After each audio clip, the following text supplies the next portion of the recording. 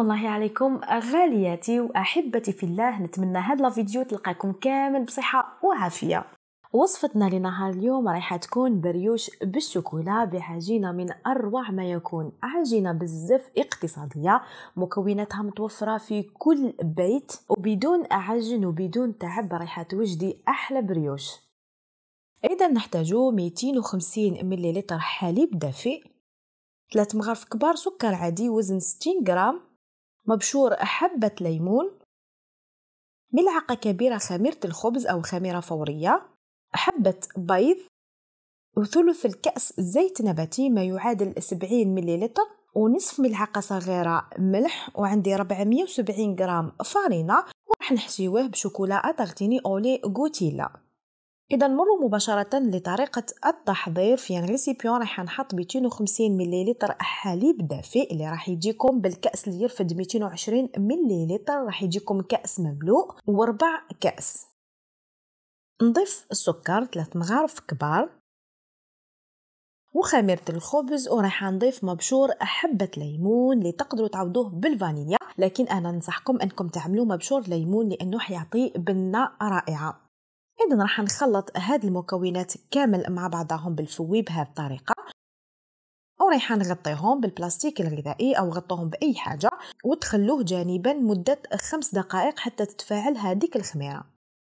اذا بعد ما جازت خمس دقائق على الخليط تاعي رايحه نجي هنايا أو نضيف عليه حبة البيض اللي تكون بدرجة حرارة المطبخ وثلث الكأس تاع الزيت اللي قلت لكم راح يجيكم 70 أو 75 مليلتر.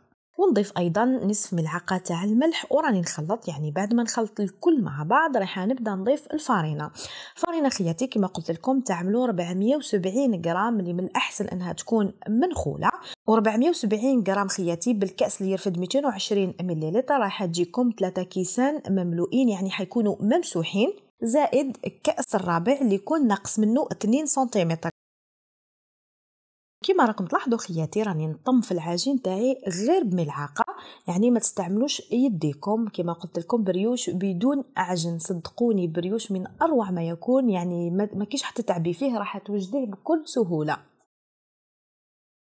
وبعد ما طم العجين تاعي شوفوا قوامه كيفاش يكون. راح يكون يلصق في اليدين. رايحه نحيه ونحطه فوق طاولة العمل ورايحه نعجنوه مدة أربع دقائق لا أكثر. هنا الهدف تاعنا من هذا العجن راح نعجنوه يعني باش يتخلط الكل مع بعض. شوفوا الطريقة خياتي ما تعجنوهش بزاف عجنوه غير شوية ومن بعد راح نلوزها بهذا الشكل وشوفوا كيفاش يكون قوامه. يعني يكون طري هكذا باش البريوش تاعنا من بعد يجينا خفيف. وراح نعاود نردو في نفس الريسيبي وراح نغلفو بلاستيك غذائي ونخليه في مكان دافئ حتى يتخمر ويتضاعف حجمه. وبعد ما تخمر العجين تاعي أنا هنا دا معايا مدة ساعة حطيته في مكان دافئ. راح نجي هنايا أو نخرج كامل الهواء المتواجد فيه.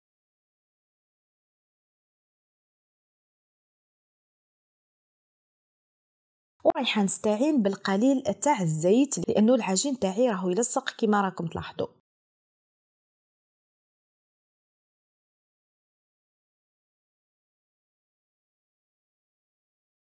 ونحيه ونحطه فوق طاولة العمل ونعملوه على شكل أحربوش بهذه الطريقة. وين حسيتوا أنه العجين تاعكم يلصق في اليدين وما قدرتوش تخدموه استعينوا دائما بالزيت النباتي. ونقطع الحربوش اللي تحصلنا عليه إلى 16 انقطاع يعني تعملوا عينكم هي ميزانكم. ولا اللي تحب توزن راح يكون أحسن وراح تعملي كل كرة يكون وزنها من 55 حتى ل 60 غرام ومن بعد راح نكور العجين تاعي إلى كرات بهذه الطريقة ودائما راني نمسح يدي بالزيت وهنايا ما تكثروش بزاف الزيت خياتي يعني تمسحوا مسحة خفيفة فقط. وبعد ما كورتهم راح نبدأ نحشي الكرات تاعي بالشوكولا اتارتيني اولي غوتيلا.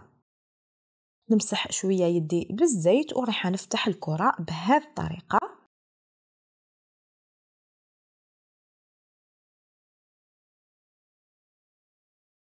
ونحط ملعقة صغيرة من الكوتيلا في الوسط وراح نغلق عليها جيدا بهذا الشكل.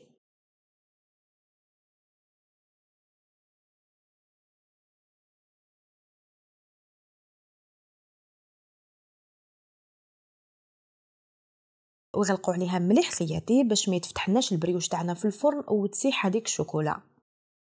نعاود نسقمها ونكورها ونحطها في صينية الفرن بعد ما فرشتها بورق الطهي وبعد ما كملت هنايا شكلت كامل البريوش تاعي. راح نضغط عليه بهذه الطريقة هكذا باش يجينا خفيف وما يجيناش معجن من الداخل.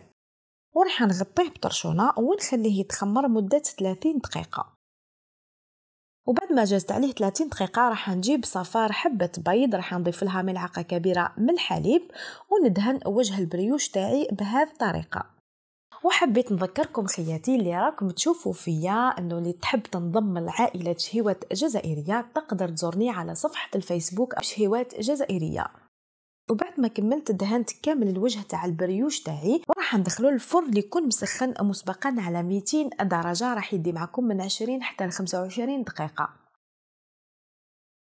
وهاوليكم خياتي البريوش تاعي بعد ما جبته من الفرن وخليته برد شوية. شوفوا كيفاش راح يجينا راح يجينا بزاف بزاف هشيش يعني حيجيكم قطني وخفيف ريشة وبزاف بنين.